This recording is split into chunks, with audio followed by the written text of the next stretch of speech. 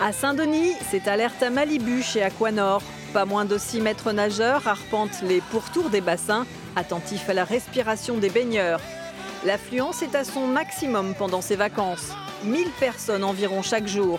La direction en attend 35 000 pour ce mois de janvier. On est en grosse période avec l'été qui vient d'arriver. Euh, le mois de janvier est une période très charnière pour nous. Donc on a pas mal de monde comme vous pouvez le constater actuellement sur les bassins. Euh, on accueille après les gens tous les jours. On est ouvert tous les jours pendant les vacances de 9h à 20h. Ici, on glisse, on bronze, on trempe comme un petit sachet de thé. Certains infusent même pendant des heures et avec toute leur famille. Non, quand, pratiquement tous les ans. C'est très chaud.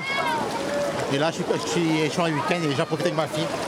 Ma fille, ma petite fille, ma famille. Si, j'ai déjà, j'ai déjà venu. Et alors, qu'est-ce que t'aimes bien ici?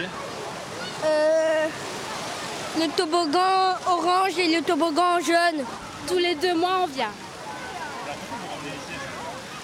Bah, parce que c'est tout près de la maison. Voilà, c'est cool, hein. il y, a, plein d'animations. On peut faire les toboggans, euh, on peut se faire masser. euh, c'est cool, il y a tout. Ben, en fait, à l'intérieur, on voit pas grand chose, mais ouais, non, sinon c'était bien. C'était bien. J'ai dû la faire euh, trois fois? Trois fois? Oui, non, mais je suis arrivée il y a pas longtemps aussi, mais là, je vais la refaire encore. Le complexe compte 6 bassins. La qualité de l'eau est vérifiée deux fois par jour. Et si la météo reste au beau fixe, la direction espère une augmentation de 25% de fréquentation par rapport au mois de janvier l'année dernière.